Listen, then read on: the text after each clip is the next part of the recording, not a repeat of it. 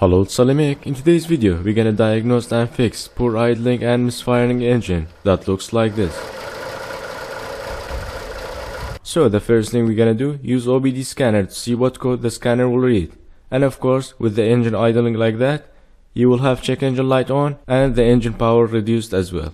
Turn the key to ignition position. I'm gonna use my phone and use this app. It's called Torque. It's very easy to use.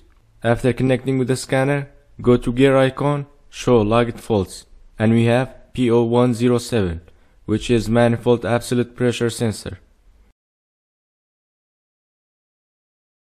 We're gonna turn it off and here is the map sensor, located after throttle body. On some cars it's bolted straight on the intake manifold, or it will be connected with a small hose like this. MAP sensor stands for manifold absolute pressure that measure barometric pressure of intake manifold and compare it with the atmosphere to tell how much fuel has to be sent. Alright, let's disconnect the wire harness and undo the 10mm bolt. I'm gonna use a small ratchet extension 10mm socket. Let's remove the sensor and clean it and also check the hose and harness connection, one of these causing the problem. After removing the sensor, we can clearly see that we have a damage on the hose and that caused pressure leak and inaccurate reading. For cleaning, I will use mass airflow sensor. It's safe on sensors and plastic and leaves no residue. We just have to spray a few times and let it dry. Next, we're gonna remove the damaged hose and replace it.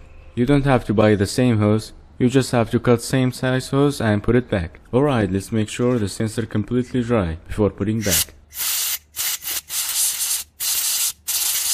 I will put the new hose on the sensor and it will make the job easier for installing on the engine. Alright, we're just gonna put everything back. We just cleaned the sensor and replaced the damaged hose.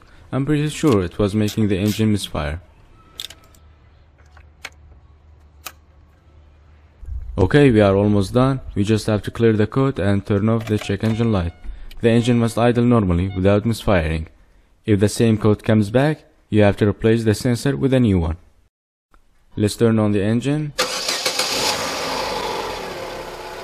It works perfectly fine without misfiring, comparing to before fixing the problem.